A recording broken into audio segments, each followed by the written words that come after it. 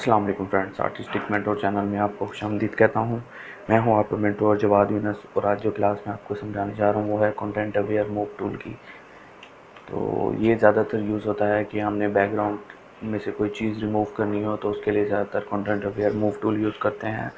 तो क्लास में जाने से पहले मैं आपको कहना चाहूँगा, अगर आपने अभी तक हमारा चैनल सब्सक्राइब नहीं किया तो सब्सक्राइब करें हमारे चैनल को और बेल आइकॉन पर क्लिक करें ताकि हर ट्यूटोरियल की आपको अपडेट मिलती रहे। तो उसके अलावा तमाम क्लासेस मैंने अपलोड कर दी हैं। इससे पहले वाली भी। उसके अलावा अगर आप इलिस्ट्रेटर सीखना चाहते हैं, उसका लिंक भी मैं नीचे दे रहा हूँ तो आप उधर से सीख सकते हैं। तो कंटेंट अवेयर टूल की क्लास मैं दो तरीक़ों से दूँगा। एक सी एस सिक्स वालों के हिसाब से और एक सी एस सी सी वालों के हिसाब से। सी एस सी सी में कुछ ऐसी ऑप्शन हैं जो कि आपके सी एस सिक्स में नहीं आती। सबसे पहले हम लोग क्या करेंगे? कंट्रोल जे करके इसकी कॉपी ले लेंगे। कंट्रोल जे करके कॉपी ले ली। फिर उस पर जैसे मैंने आपको समझाया था, उस तरह काम स्टार्ट करना है। तो ये हमारे पास इमेज आ गई। ये हमारे पास सी सिक्स में ऑप्शन आ रही होगी, ये चीज़। कंटेंट अवेयर मूव टूल की। और इसमें सिर्फ़ हमारे पास सैंपल आल लेयर्स की ऑप्शन आ रही होगी मीडियम और ये डिफरेंट चीज़ों की ऑप्शन आ रही होगी और मूव और स्टैंड की ऑप्शन आ रही होगी। जबकि हमारे सी एस सी सी में बहुत ज़्यादा ऑप्शन आ रही होती हैं। तो सबसे पहले सी एस सिक्स में मैं आपको सिखाता हूँ कि मैं एक न्यू लेयर बना लेता हूँ। सैंपल ऑल लेयर्स मैं सिलेक्ट करता हूँ और जो है इसको ओवरऑल रफ सिलेक्शन करके इसको शिफ्ट कर लेता हूँ इस जगह पे। तो ये आप देख सकते हैं, ये अपनी जगह से रिमूव हो गया है। उसके अलावा कंट्रोल जी में करता हूँ, अगर मैं इसको इसी जगह पे इस तरह मूव करना चाहता हूँ। तो ये आप देख सकते हैं कंट्रोल डी करके, मैं दिखा सकूँ आप तो देखते हैं कि उसने कितनी नाइसली तरीके से इसको मूव आउट कर लिया। कई लोग कहते हैं कि अगर हम लोग डायरेक्ट इसको सिलेक्शन कर लेंगे क्विक सिलेक्शन टूल से अगर हम इसको डायरेक्ट सिलेक्शन कर लेंगे तो उस तरह ये चीज़ बन के आ सकेगी कि नहीं, लेकिन वो ऐसा पॉसिबल नहीं है।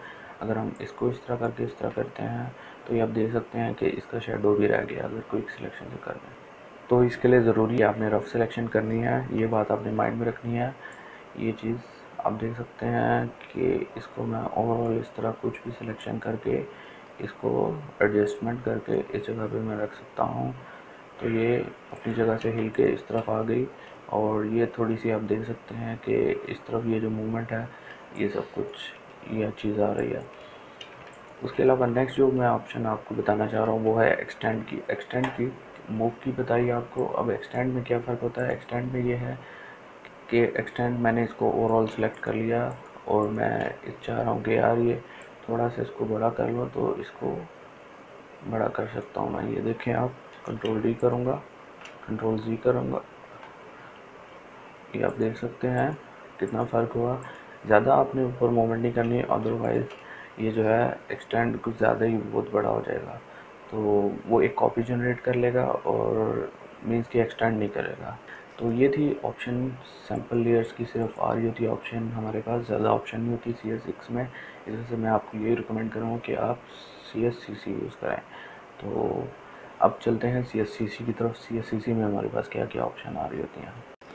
तो ये आ गया हम लोगों का सी एस सी सी तो सी एस सी सी में क्या क्या ऑप्शन आ रही हैं, उसमें कंटेंट अवेयर टूल पे आता हूँ। कंटेंट अवेयर टूल जब मैं सेलेक्ट करता हूँ तो ये आप देख सकते हैं, हमारे पास बहुत ज़्यादा ऑप्शन आ रही होती हैं इसमें।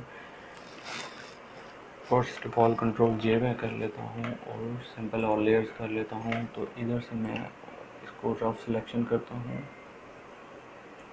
और इसको इधर ही मोमेंट दोबारा से कर लेता हूँ और एंटर दबा देता हूँ। अदरवाइज़ यस कर दूँगा तो ये हमारे पास ऑप्शन आ जाएगी। कंट्रोल डी करूँगा तो ये आप देख सकते हैं कि इसने उसकी जगह से हटा के इसको, और जो ट्रांसफॉर्म एंड ड्रॉप में डिफरेंस क्या है कि जो जो चीज़ दूर जाएगी, वो छोटी होती जाएगी, वो कैसे छोटी होती जाएगी, मैं इसको डिलीट कर देता हूँ, इसी लेयर पे, या न्यू लेयर बना के, इसी के ऊपर न्यू लेयर बना के कंटेंट अवेयर अप्लाई करता हूँ, इसको मैंने सिलेक्शन कर लिया। सिलेक्शन करने के बाद मैं ट्रांसफॉर्म एंड ड्रॉप करता हूँ। इसको मैंने दूर सिलेक्ट कर दिया। इसके दूर है, उस हिसाब से उसको थोड़ा सा स्मॉल कर दिया और यस कर दिया। ये आप जैसा कि आप देख सकते हैं कि इसने ओवरऑल इसको इधर से रिमूव कर दिया है और इसको इतनी दूर ये ले आया है। नेक्स्ट जो चीज़ आपको समझाने जा रहा हूँ, वो है स्ट्रक्चर और कलर की। स्ट्रक्चर और कलर में क्या डिफरेंस है? क्या चीज़ आती है? आपने सबसे पहले क्लोन टूल सेलेक्ट कर लिया ओवरऑल इसकी मैंने सिलेक्शन कर ली।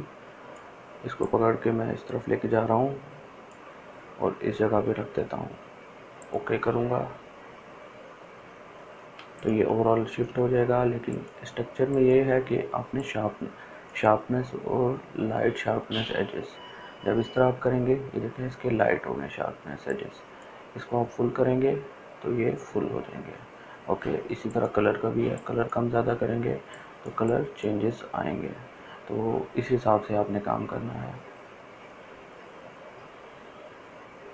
इसको अगर आप कम ज़्यादा करेंगे तो वो अपनी तरफ़ मज़े से आपने एडजस्ट करना है. आप लोग राइट तरफ़ जाएँगे तो डल एजेस आएँगे. तो मैं को, यही आपको कहूँगा कि आप राइट की तरफ़ इसको फुल मैक्सिमम रखें और इसको कलर को अगर आप जिस तरह एडजस्टमेंट करके जिस तरह बेस्ट समझना चाहते हैं तो उस तरह उसको रखें आप ओके कंट्रोल डी में करूँगा तो ये आप देख सकते हैं कि ओरिजिनल में वो लड़की किधर थी और अभी किस जगह पे आ गया और इसने बड़ा ज़बरदस्त सा शेप हमें बना के दे दिया है।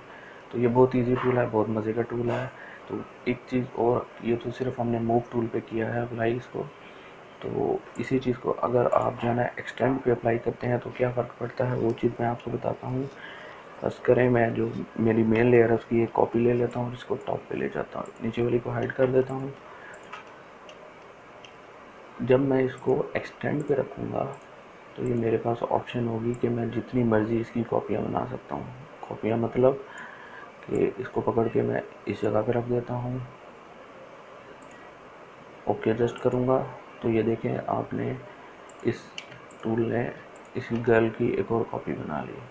तो ये थी हमारी सिंपल सी कंटेंट अवेयर की क्लास तो अपनी राय कमेंट्स पे देना ना भूलिएगा और लाइक कीजिए। अगर आपको ये ट्यूटोरियल पसंद आया है तो अगर कोई क्वेश्चन है, वो भी आप पूछ सकते हैं। तो हमारे फेसबुक पे ग्रुप आर्टिस्टिक मेंटोर भी ज्वाइन करें, ताकि आपको हमारे हर ट्यूटोरियल्स की अपडेट मिलती रहे। मिलते हैं नेक्स्ट ट्यूटोरियल के साथ। जो बाद में को इजाज़त दीजिए। अल्लाह हाफिज़।